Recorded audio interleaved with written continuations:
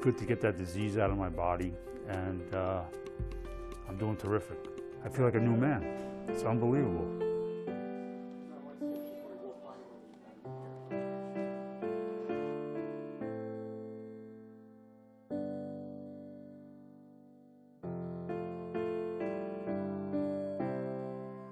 My wife was tested against my wishes, and she and we were a match, and we went ahead with the transplant.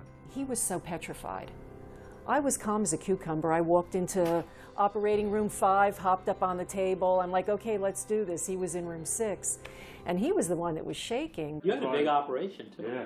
Much bigger than a standard kidney operation.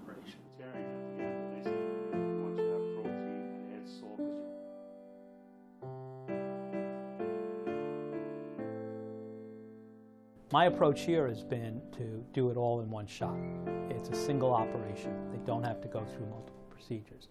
And then I think even more important, it avoids the need for dialysis. Mr. Kaiser had what's known as polycystic kidney disease. The native kidneys are replaced completely by multiple, multiple cysts, which tend to grow very large. His kidneys, both of them each, were about the size of a watermelon. They told me it was everything was going to be okay, you're going to be fine, and I didn't believe it until I woke up. Dianne's kidney started working right away in me. It was just truly a miracle. It is unbelievable. It was actually taken out laparoscopically.